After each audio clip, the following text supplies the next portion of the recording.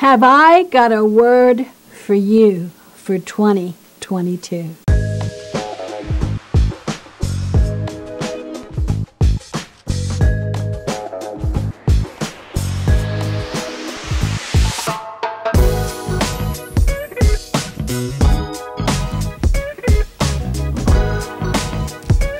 Donna Schambach, and I'm so happy you could be with us this brand new year, 2022, on Power Connection. You know, I don't know about you, but I like to think about what God has in store for me every time that calendar flips. But sometimes I've gotten into a trap of looking for what the prophets are saying to see what, what they're hearing in the Spirit, and that's okay. But I feel like there's a missing element, and that is every believer, that's you and me, we need to be so filled with the Holy Spirit and in tune with the Spirit that we hear what Jesus Himself is saying to us. Because listen, I believe with all of my heart, Jesus is taking out the scales and He's weighing us in His balance. He has a word for us, and often it's going to include repentance. I was reading from Revelation the past few weeks, and in Revelation chapter 19, and I want to start here at the end of verse 10. It's very clearly said, Worship only God, but the essence, and I'm reading from the New Living Translation today, for the essence of prophecy is to give a clear witness of Jesus. You know, I hear every type of prophecy about politics and about governments and about how the church needs to be. But how many times do we hear people saying that our assignment in any given year is to give a clear witness of Jesus? Let me ask you this question.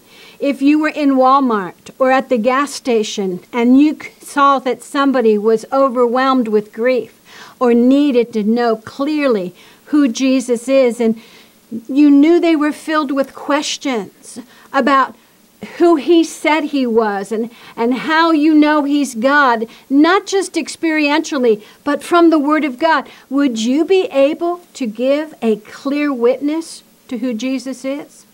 You see, we all want to get a new word, but we have oftentimes been out of the Word of God.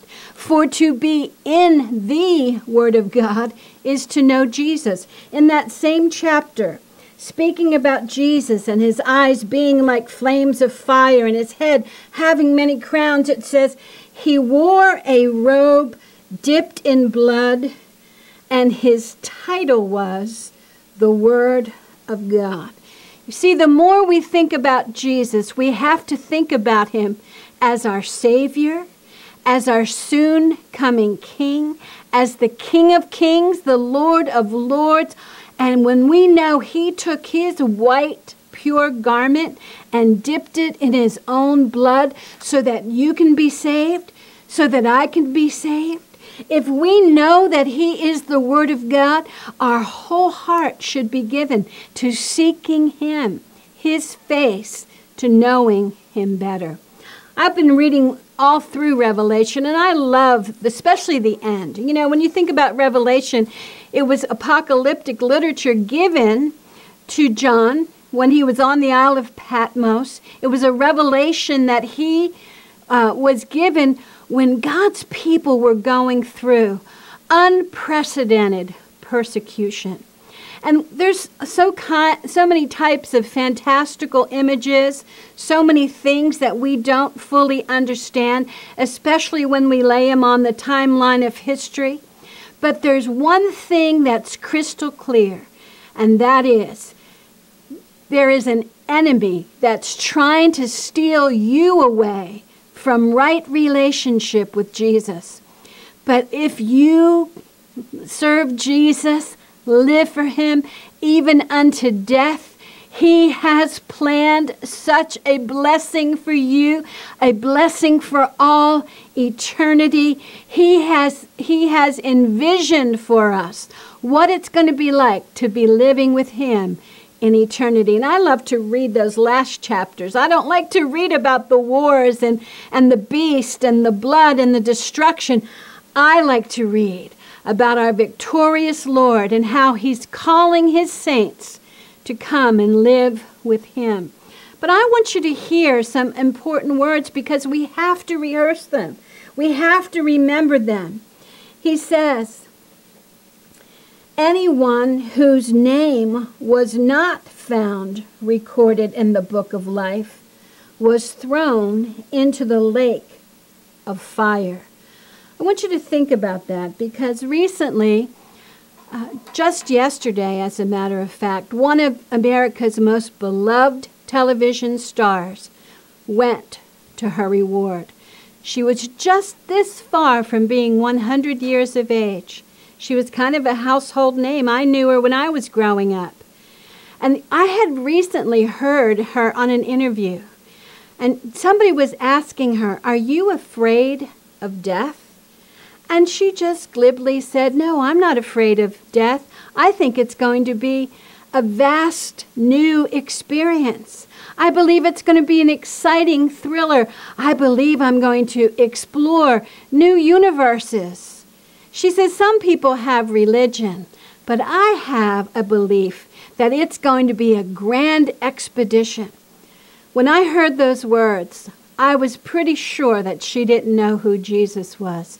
Because anybody who knows Jesus, when you're living that close to eternity, that's a time for introspection. Lord, is there anything standing between me and you? Thank you, Lord, for the blood of Jesus that you shed for me. I'm coming to see you, Lord. And yes, it's going to be a great adventure, but only because of who you are. But this is the thing that saddens me. People don't have that realization. If that woman did not have that realization, the Bible says if her name was not written in the Lamb's book of life, that she would be cast into a lake of fire. That's a pretty scary thing. How could someone that everybody loves, who thinks they're great, they're funny, they've lived well on this earth, how could they be cast into a lake of fire? Remember what Jesus said? He said, What does it profit a man if he gains the whole world but should lose his own soul?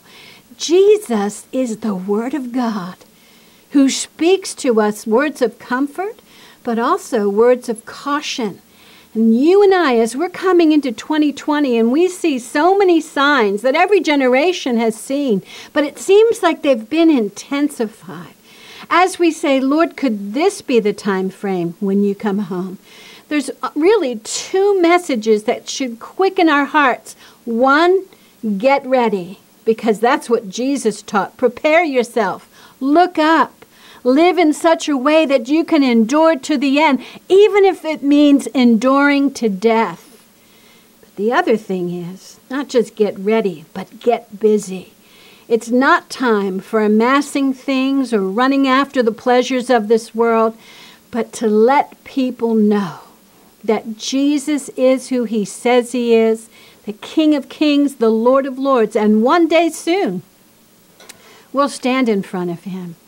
You know, I was, as I read the book of Revelation, and I encourage you to do so, because Jesus is crystal clear. He says it time and time again throughout the book that there are people who are going to make it to heaven, and there are people who are not going to make it to heaven. The ones that are going to make it to heaven are those that have dipped their robes in the blood of Jesus Christ, the ones that have endured to the end. They've overcome by the blood of the Lamb and the word of their testimony. They're vocal, they give clear witness to who Jesus is in their life. But there are others that won't go. And I believe that includes some that think they're okay with God. He said, if you're immoral in any way, if you commit adultery or sexual sin, if you're given to idolatry in anything, you put other things before God. If you're a liar and you don't live the truth, he says those things will take you right into the pit. And he doesn't say it just one time. These are things that God hates. And anybody who loves Jesus is ridding themselves of the spirit of this world and all of the things that attach themselves to our spirit man. We've got to live in the Word of God and let the Word of God do its work of washing us on a daily basis, of cleansing us. This is how we go into a new year, saying, Jesus, I want to live ready and I want to live busy giving clear testimony to who you are, whether it's praying for somebody or sharing my testimony or doing something for your kingdom. The other thing that's very consistent throughout Revelation is that God's people who love Him, they do good deeds. Now, that doesn't mean they their, earn their salvation that way, but there's an outgiving of that love, of that message, whether it's helping poor people or giving to somebody in need or comforting someone, praying for somebody, things that we say, I do this as unto the Lord. That's your word for the year. Get into the Word of God. Rekindle an on fire relationship with Jesus. Let Him help you take inventory of every area of your life. Let him purge you with the power of the Holy Spirit. And let him light a fire under you so that you're not lukewarm and he spits you out, but that he sees this one is ready to give clear witness to who I am. Let's pray right now. And listen, if you have never received Jesus into your heart and into your life, don't put it off one more day. Tomorrow is not promised to us. Ask the Lord to live in your heart and open up the Word of God so that you can live a life that's pleasing to Him. Father, I thank you for this one who's watching today. First, I pray for the one who needs to get back into right relationship with you. Lord, I ask for the Holy Spirit of conviction to fall upon them, that you would pinpoint areas of our life that have to come under your scrutiny. Lord, would you open up the Word of God? And as we read, Lord, I pray that you'd say, Oh, that's an area that I got to get right. Help me, Lord Jesus. Father, I just ask for forgiveness of, of not honoring who Jesus is, but going after the things of the world. Will you change me from the inside out? I thank you, Lord, as people are praying that prayer, that you will meet them with your presence right now. Thank you, Lord. And Father, for every believer, Lord, we want to hear a word that's telling us that 2022 is going to be a great overcoming year, and I believe it will be but it only will be overcoming to the degree that the Word of God is in us and that we're living the Word of God in our life. So I'm asking you for a fresh baptism of hunger for the Word of God, for prayer, for the person of Jesus Christ, that we might live a life that gives honor to His name. Father, if they need a healing touch, I pray that you would do that right now as healing is the children's bread. Stretch out your hand and touch them in Jesus' mighty name. Amen and amen. Just lift your hands before Him. Give God praise. Thank Him for who He is. And listen, I want to encourage you when you have a moment, Will you share this teaching? So many people need to hear it. And I would I know you can help me if you'll just share it with a friend, like it, click the bell, do all those things that will help us get the word out more. And then go by our website, check out all of our resources. Make sure you check out the newest book that I wrote. People are telling me they love it. Especially I've heard a lot of men tell me that they liked it. In fact, one of the men told me he cried from chapter 8 all the way to the end. So there's good stuff in there for you, especially if you have someone in your family who needs to get back into relationship with God. Make sure you, while you're there, you sign up for our newsletters, become a partner, and sow a seed while you're there. And thank you for all you do to help us keep Power Connection on the air. We love you, we bless you, and we'll see you next week. I'm so happy you could join us today on Power Connection. Please stay connected with Schambach Ministries. Make sure you check out our website. I'd love you to also look into being part of our Schambach School of Ministry, especially if you feel a call on your life. And please help us get the word out to others. Make sure you like us, subscribe, and ring that bell. And that way you'll help us reach so many more people with the truth of the scripture. And don't forget when you go to that website, sow your best gift into Schambach Ministries today. We'll see you next time.